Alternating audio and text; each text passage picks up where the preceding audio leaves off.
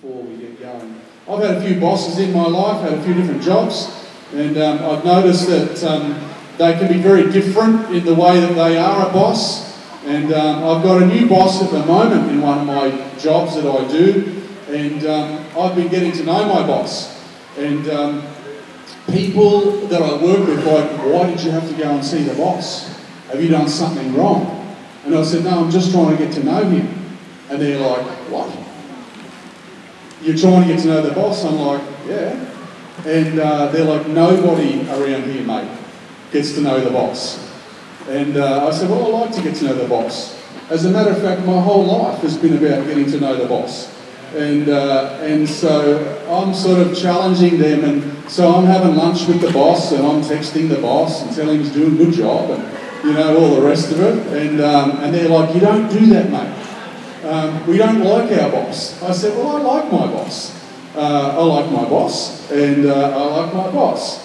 And, uh, and they're just being completely confused about my attitude towards my boss. And uh, I'm like, I'm not going to work for a guy and serve a guy and not build a relationship with that guy uh, during the course of my work. It doesn't make sense to me. And they're like, you are doing it all wrong. You're stuffing up the system here. We've had a good thing going for 50 years don't come in here and start becoming friends with the boss. And so um, um, it's an interesting thing, you know, for me getting to know my boss. But I remember a couple of bosses that I had growing up. One boss, this was his style, right? And um, he would um, push on a job site and he'd be like, You'll work it out, mate. I'm, I've got to go, you'll work it out, just get the job done and off you go. And so he'd leave and I'd be devastated because like, I don't know where to start. Uh, I don't know what to do. I've got no one to give me any advice. I feel ill-equipped for this. He's going to come back. I'm going to be standing there crying, looking at all the work I'm supposed to be doing, not knowing what to do. This is a terrible, terrible thing. I had another boss that would give you, who's that boss? It gives you a list of 1,000 things to do. Um, you know, I want you to do this, this, this, this is the way you cut this out, mark this, put that there, join that over that, do this, tear that down, rebuild this, do you know, and I'm, yeah, yeah, I mean, you know, and then as soon as he's gone, I'm like, I can't even, what did he say? Something about, and so, you know, um, there's the boss who's like, just build whatever you like, mate. It'll be fine, you know, it'll all work out. Uh, and uh, some of us sort of feel like, uh, you know, that's our journey with God. You're right. You've got the grace on your life, sister. Do whatever you like, it'll all work out. Uh, the other group of us are here thinking God's telling us you've got to do this, this, this, this, this, this, this, this, this, this, this, this, and, and before too long you're overwhelmed. I think I don't even know where to start, if I can do all these things and all the rest of it. And uh, I find Christians to be in these two camps. And this morning, if you're wanting a fluffy Easter message or whatever, uh, feel free to leave now. Because uh, you're not going to get it.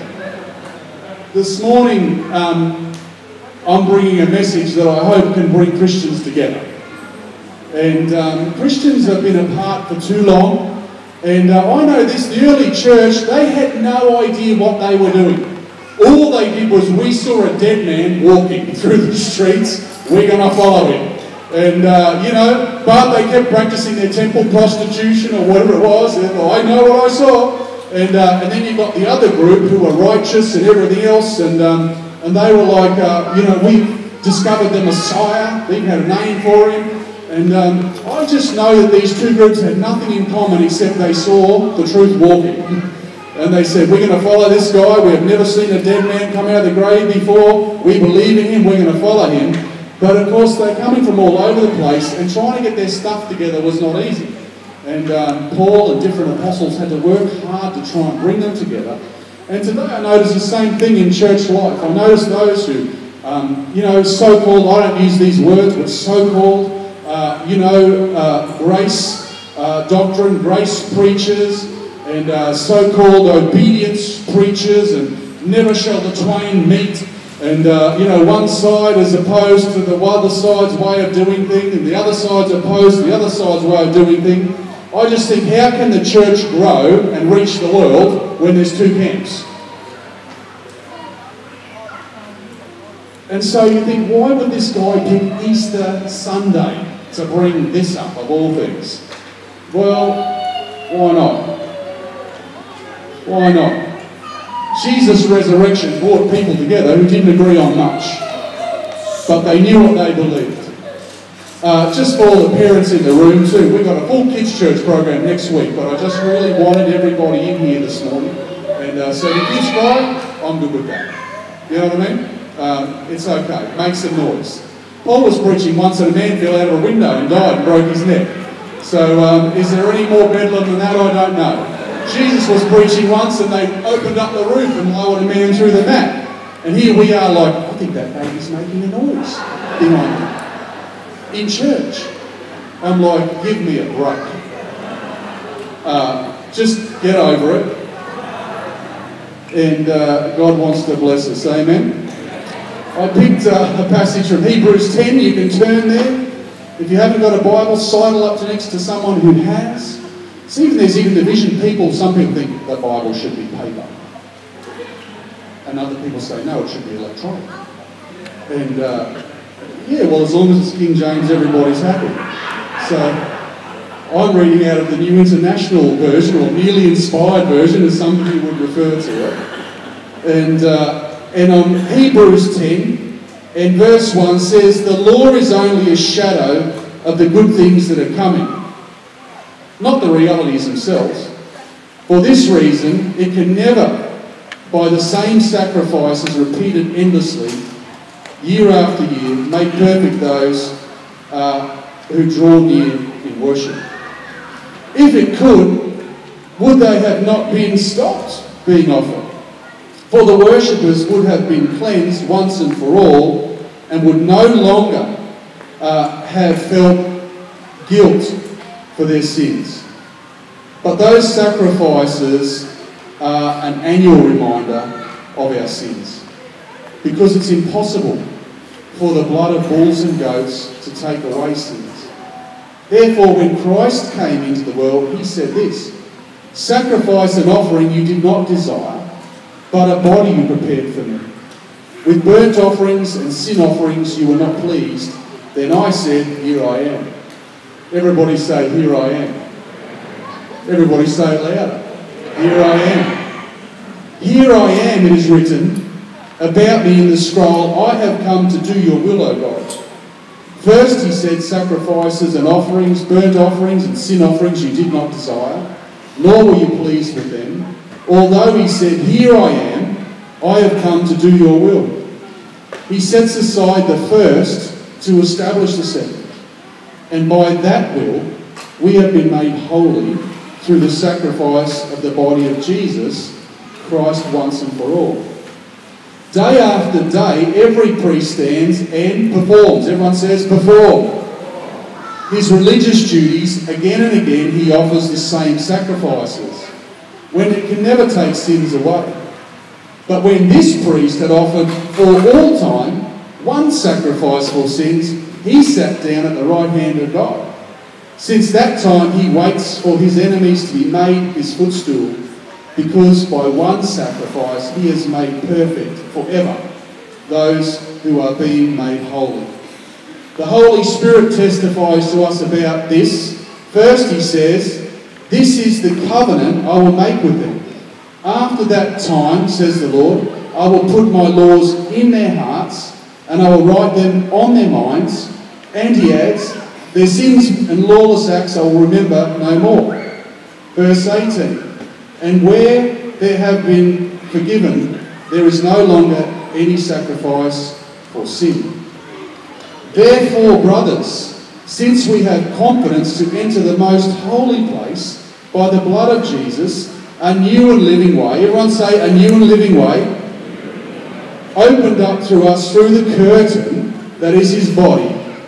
And since we have a great high priest over the house of God, let us draw near to God with a sincere heart, full of assurance and faith, having our hearts sprinkled and cleansed from a guilty conscience. Oh, what does all that mean? for goodness sake. Uh, what a wonderful passage of Scripture. And um, I really feel that uh, God is going to speak to us powerfully to bring us together this morning.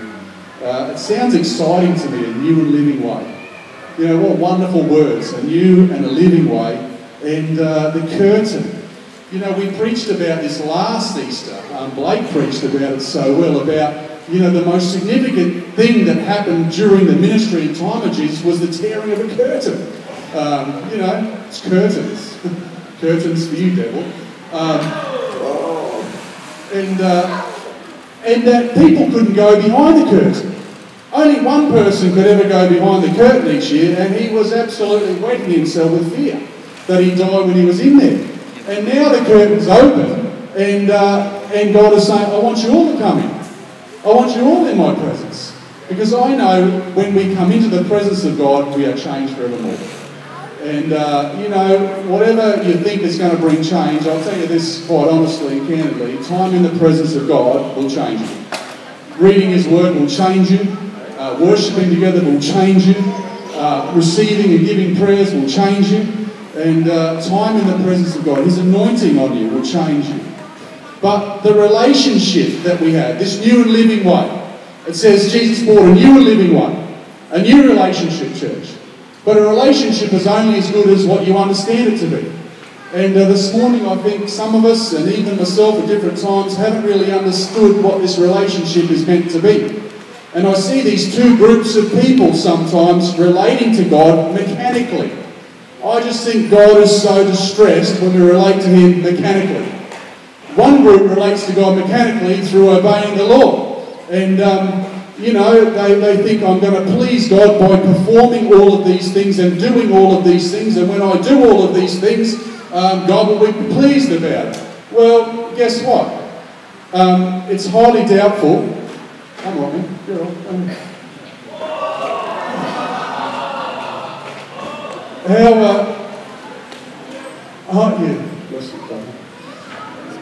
highly, uh, highly doubtful that us following the whole heap of rules and regulations really excites God that much.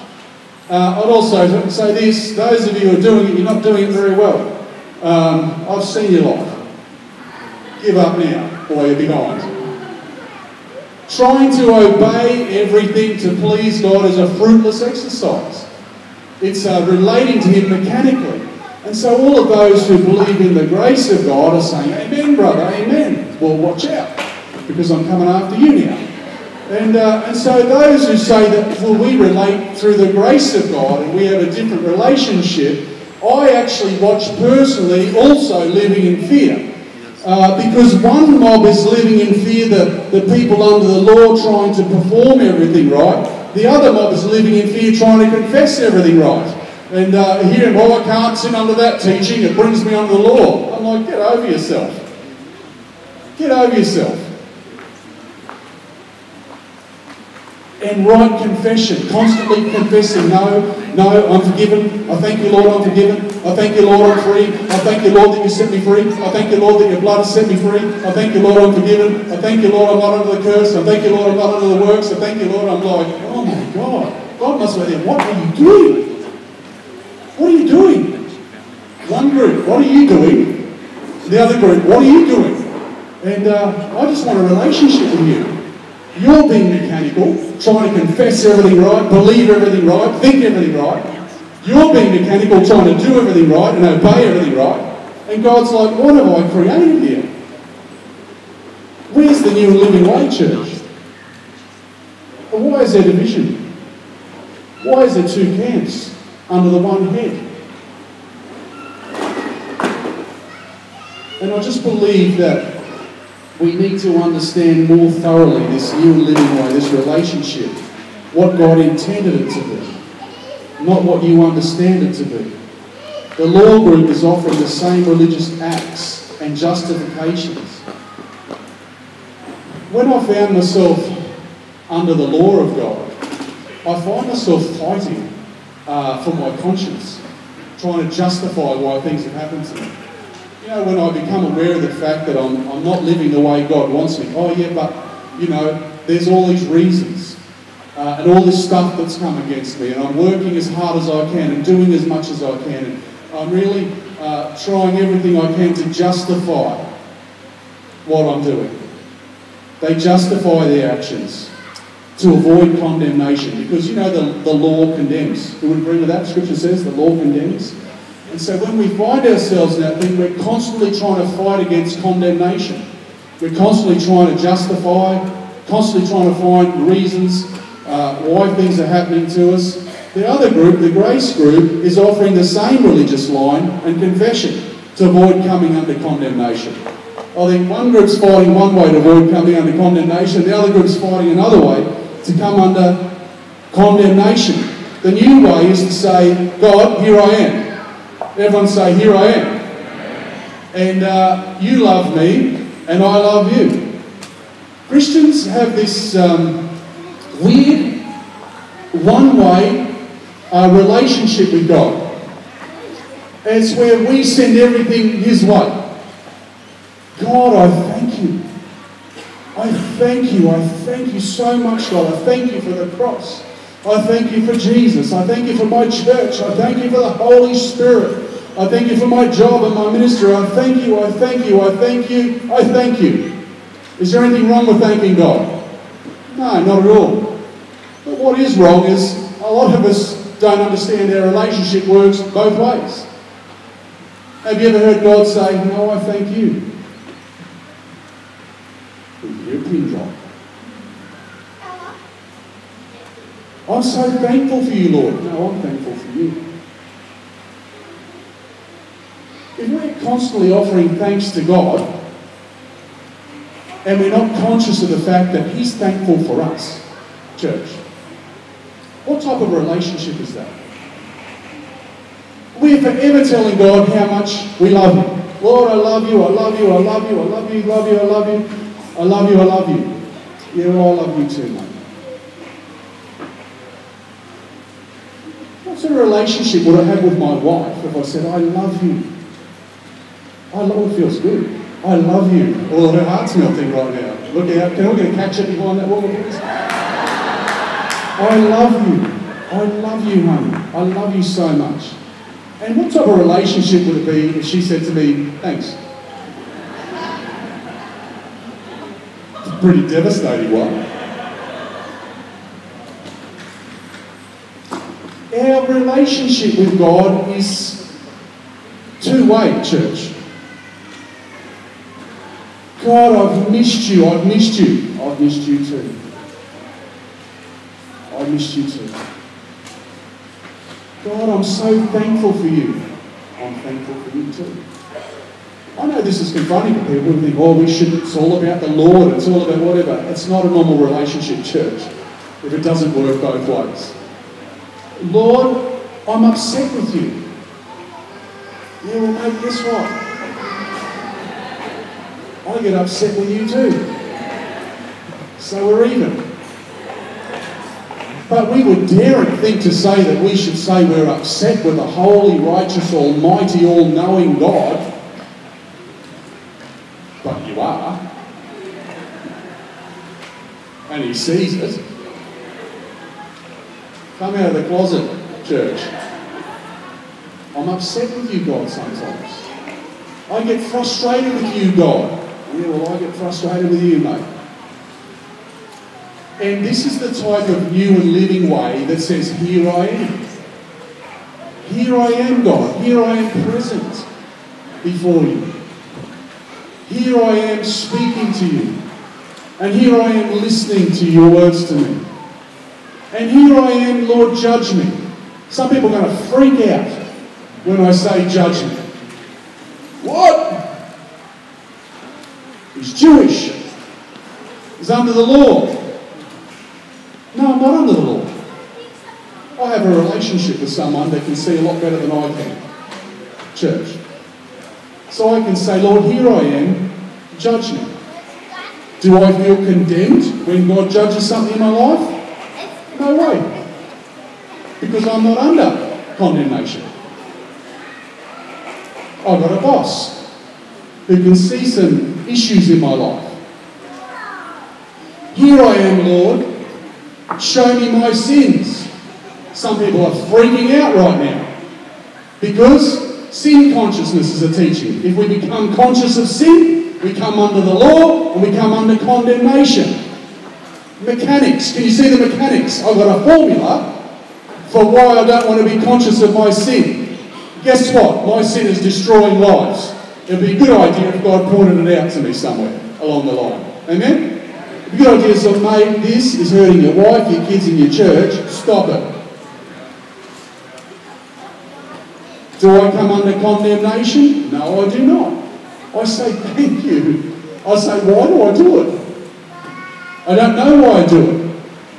And God said, I'll tell you why I do it. Amen? And I don't have to walk around every time, oh, Lord, thank you, I'm forgiven. Thank you, my sin's not counted against me. Thank you, Lord, I'm free from it. Thank you, thank you, thank you. God's like, what are you doing, mate? Let me help you. Let me speak to you. Say, Here I am. Say, Here I am, Lord.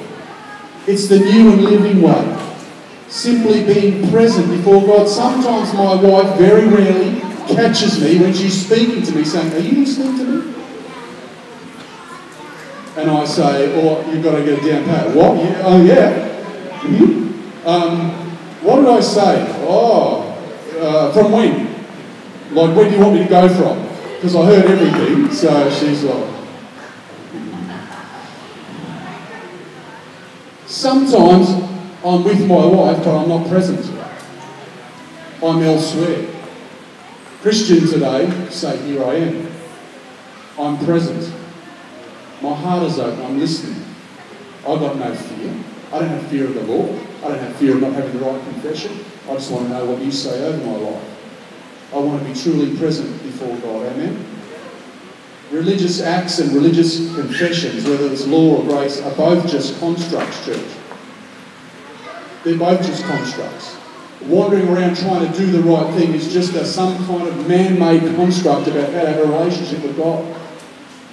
And walking around trying to confess the right thing is just a man made construct about trying to please God.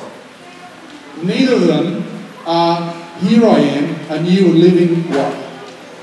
Law people never change because they're always defending themselves, always denying, because they're always afraid of punishment.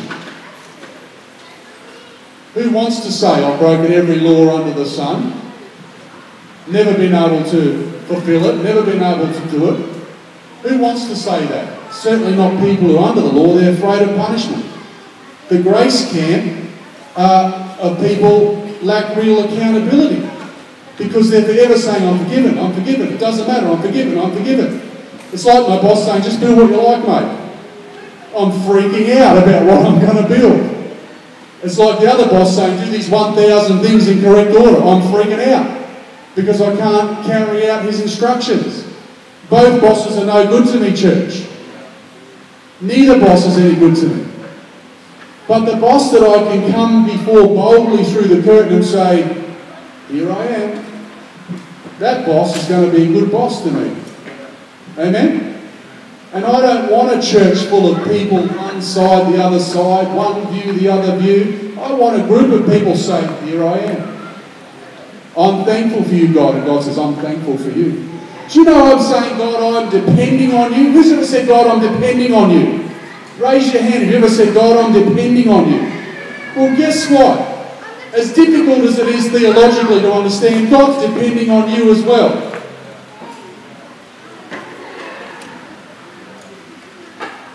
God's depending on you as well. Some of you think that's outrageous. God is sovereign and independent and requires nothing from mankind. He is who He is. He's the great I am. Get over yourself, church. God's depending on you to love your neighbour. God's depending on you to forgive your wife, your husband. God's depending on you to share your faith. God's depending on you, church. It's a real relationship. A relationship with Blake. He depends on me. I'm the brawn. I depend on him. He's the brains. Together we're unstoppable. We depend on each other. Oh, feels good.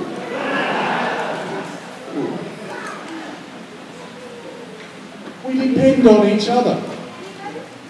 Don't get all toxic on me here today about, oh, God doesn't, He's not dependent on anything. I know all that stuff. But the point is, this is a real relationship, church. Here I am. God says, and here I am. I've missed you, God. I've missed you too. I love you, God. I love you too. I'm depending on you, God. I'm depending on you too. Real relationship is about both parties being present, church. Two ways. God, you can judge me. I'm not. Either way, either way, Lord, I'm going to have a clean conscience because of the blood of Christ. If you judge that I've done good works, I'll have a clean conscience through that. If you judge that I've erred and transgressed and, and uh, you know, my, my life has damaged other lives through sin, I'll still have a clean conscience, church. But because I've got a real relationship, I can say, Lord, can you help me understand this? Because, man, I want to back away from this. Because that's what you want. And here I am. And I want to see this stuff. And I want to know this stuff. What a ridiculous thought that God doesn't want us to be conscious of sin, church. All right, give me a break. Sin hurts people. It'd be nice if we could wake up to that. It'd be nice if, even if we couldn't understand why we do the things we do, God could lead us and guide. Like a good shepherd and say, look, here's where you are, mate. But this is where I want to bring you. And God does different works in different personalities, church. I'm done.